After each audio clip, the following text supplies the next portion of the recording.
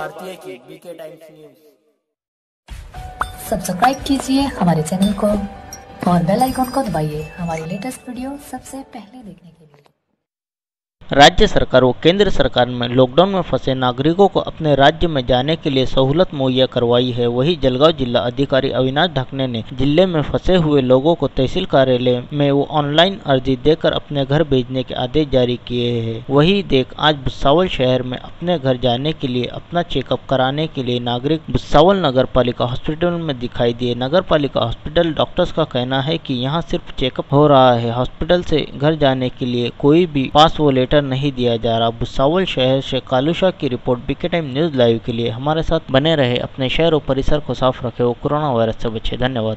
अत्यावश्यक कामाकरता औरंगाबादला जाणे असल्यामुळे यांच्या प्रोसिजरप्रमाणे हा वैद्यकीय चाचणी आणि यांचं सर्टिफिकेट मिळवून नंतर मग ऑनलाईन फॉर्म भरून कलेक्टर ऑफिसमधनं परमिशन मिळण्याच्या आशा निर्माण झालेल्या आहेत आणि कदाचित उद्यापर्यंत परवानगी मिळेल अशी अपेक्षा आहे.